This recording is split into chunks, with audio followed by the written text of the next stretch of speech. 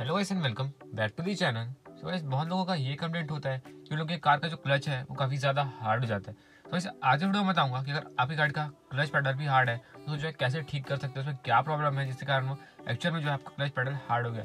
क्योंकि इस hard clutch pedal में गाड़ी चलाने का बिल्कुल भी मन नहीं करता क्योंकि हर टाइम पे हमको गियर जो है चेंज करना पड़ता है गियर अप करना पड़ता है डाउन करना पड़ता है। उस टाइम पे हमको जो है क्लच के जो है बार बार करना पड़ता है। और इस कंडीशन पे अगर हमारी गाड़ी का क्लच काफ़ी ज़्यादा हार्ड हो तो इसमें जो हमारे को गाड़ी चलाने का बिल्कुल भी मूड नहीं करेगा। तो इसे आज में बताऊँगा कि कैसे अगर आपका गाड़ी का क्लच हार्ड है तो कौन से रीजन से क्लच हार्ड हो सकता है और उसको कैसे जो है आप एकदम नॉर्मल लूज कर सकते हो। तो अगर आपने मेरे चैनल को सब्सक्राइब नहीं किया, फटाफट से चैनल को सब्सक्राइब कर लीजिए, कि मैं इस तरह की नई नई वीडियोस लाते आता हूँ। तो भाई सबसे पहले बताता हूँ क्लच पेडल एक्चुअल में हार्ड क्यों होता है और क्या रीज़न है तो फटाफट चैनल को सब्सक्राइब कर लीजिएगा। वीडियो को स्टार्ट करते हैं। तो भाई मैं दिखाता हूँ, ये अपना क्लच पेडल है। देख सकते हैं। बेसिकली गाइस क्लच पेडल का दो कार में दोनों अलग अलग मैकेनिज्म होते हैं। जैसे कि मेरा कार जो डीजल कार है तो मैं आपको सबसे पहले बताता हूँ कि एक्चुअल में जो है अपना जो क्लच है, वो वर्क कैसे करता है। तो गाइस सबसे पहले बताता हूँ पेट्रोल कार का। सो गाइस पेट्रोल कार जो है गाइस क्लच जो है डायरेक्टली वायर सिस्टम होता है। अपने मतलब कि अपने क्लच पेडल जो है, इंजन से लेके एक वायर जुड़ा हुआ होता है, वो वायर के थ्रू वर्क करता है। जो अपना अपना जो बाइक में जो क्लच वायर का यूज़ होता है, वैसा ही सेम जो है पेट्रोल कार में जो है उसका क्लच वायरिंग के थ्रू वर्क करता है। और बात करते हैं डीजल कार तो डीजल कार में जो है, अपने डीजल कार का जो क्लच है, वो हाइड्रोलिक क्लच दिया होता है। अपना जो डीजल कार का क्लच है, वो हाइड्रोलिक के थ्रू काम करता है। इसका मतलब गाइस मतलब कि मान लो, जैसे हम अपने कार के जो, इस कार का जो, ये डीजल कार है तो इसका जो क्लच है, वो हाइड्रोलिक के थ्रू काम करता है। तो इसके, इसमें जो है ब्रेक ऑयल जो डलता है, जिस डब्बे पे, ये उसी ऑयल के थ्रू जो है, अपना ये क्लच भी काम करता है, अपना ब्रेक भी काम करता है। दोनों जो है, इसी सेम ब्रेक ऑयल के थ्रू लोग जो है, काम करते हैं। तो इस मान लो, अगर मेरे गाड़ी डीजल कार कैसा है तो मैंने डीजल कार को बताता हूँ कि कैसे इसको ठीक कर सकते हैं। तो इस मान लो, अगर आपकी गाड़ी डीजल है, और इसका जो है आपका क्या बोलते हैं? क्लच हार्ड हो चुका है।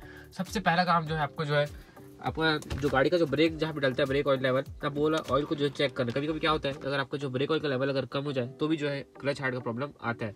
अब बात करते हैं दूसरे कारण, जिसके कारण जो अपना क्लच हार्ड होता है। तो दूसरा क्या होता है, अपने क्लच में जो है, अंदर में क्लच का जो असेंबली है वो अपना जो पूरा गियर बॉक्स के अंदर लगा होता है। ऐसे में अगर गियर बॉक्स के अंदर अगर इसमें एक रिलीज़ बेरिंग लगा होता है, क्लच का जो है रिलीज़ बेरिंग अगर वो रिलीज़ बेरिंग भी खराब हो जाए तो अपना क्लच जो है काफ़ी ज़्यादा हार्ड हो जाता है। तो गाइस ये दो रीज़न होते हैं जो डीजल में जो है, गाड़ी का जो क्लच है वो हार्ड हो जाता है। पहला जो है आपका, अपना जहाँ पे ऑयल डलता है, जिसमें ब्रेक ऑयल जो डलता है, उसमें अगर ऑयल कम हो तो भी अपना गाड़ी का डीजल कार का जो है क्लच हार्ड होता है।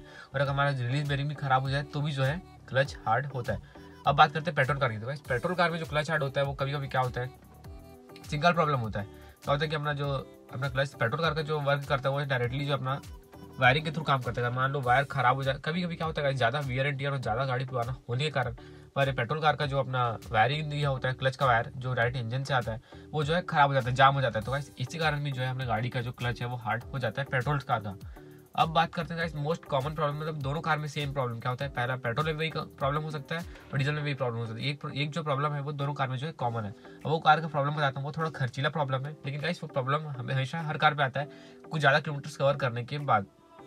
सो so गाइस मैंने रिसेंटली एक आई का जो है देखा था क्या होता है क्लच अगर कभी भी हार्ड हो जाए और आपका जो है वायरिंग भी ठीक है मतलब कि क्लच जो वायरिंग के थ्रू काम करता है पेट्रोल कार का वो भी ठीक है और डीजल में जो है आपका रिलीज़ बेरिंग भी ठीक है और आपके ब्रेक ऑयल में ऑयल भी ठीक है तो भी अगर आपका क्लच जो है अगर हार्ड है तो गैस मोस्ट कॉमन प्रॉब्लम जो क्या होता है, वो है गाड़ी का क्लच प्लेट और प्रेशर प्लेट फूक जाना। मतलब गैस क्या होता है, जैसे कि अपना गाड़ी जो है ज़्यादा चल चुका है, चालीस हज़ार, पचास हज़ार किलोमीटर या एक लाख किलोमीटर तो क्या होता है कभी जो अपना गाड़ी का जो क्लच प्लेट है, वो घिस जाता है। क्लच प्लेट और प्रेशर प्लेट खराब होने के कारण भी जो है, कार में थोड़ा सा पिकअप लो हो जाएगा और आपका क्लच जो है काफ़ी ज़्यादा हार्ड हो जाएगा। तो इस कभी भी अगर आपको ऐसा लगता है कि अगर आपका गाड़ी का क्लच जो है हार्ड हो गया तो पहले आपको जो है पेट्रोल कार पर वायरिंग चेक कराना है। और आपके पास डीजल कार है तो आपको उसमें जो पहले आपको जो ब्रेक ऑयल चेक कराना है, दूसरा जो रिलीज़ बेरिंग खराब होने के कारण भी जो है क्लच हार्ड होता है डीजल कार में। और मोस्ट कॉमन जो दोनों कार में सेम होता है, वो है गाड़ी का क्लच प्लेट खराब होना और प्रेशर प्लेट खराब होना। अगर गाड़ी में क्लच प्लेट भी खराब हो जाए प्रेशर प्लेट भी खराब हो जाए तो क्या होता है, हमारा कभी कभी जो है ये क्लच जो है हार्ड हो जाता है। तो वैसे अगर मान लो आपका दोनों प्रॉब्लम ठीक है मतलब कि अपना आपका ब्रेक ऑयल भी ठीक है डीजल कार में और आपका वायरिंग भी ठीक है पेट्रोल कार में तो आपको जो डायरेक्टली जो है क्लच प्लेट और प्रेशर प्लेट को चेक करवाना है। क्योंकि क्लच प्लेट और प्रेशर प्लेट खराब होने के कारण गाड़ी पिकअप तो लो होगा ही साथ साथ आपका जो है, ये गियर भी हार्ड हो जाएगा। गियर आपका जो है, अच्छे से शिफ्ट नहीं करेगा और दूसरा प्रॉब्लम जो आता है आपका ऐसे गाड़ी का पिकअप भी डाउन हो जाएगा। वैसे बस यही कारण होता है, जो कि मेरे को आपको शेयर करना था कि कभी भी क्लच हार्ड होता है तो यही सब प्रॉब्लम्स आते हैं। अगर आप इसको टाइम टाइम चेक कराओ तो आपको गाड़ी जो है बिल्कुल सही रहेगा। बस आज के बस इतना ही। अगर आपको वीडियो पसंद है तो वीडियो को लाइक करना चैनल को सब्सक्राइब करना, अपने दोस्तों शेयर करना, कि मैं तरह की नई नई वीडियोस लाता रहता हूँ। Thank you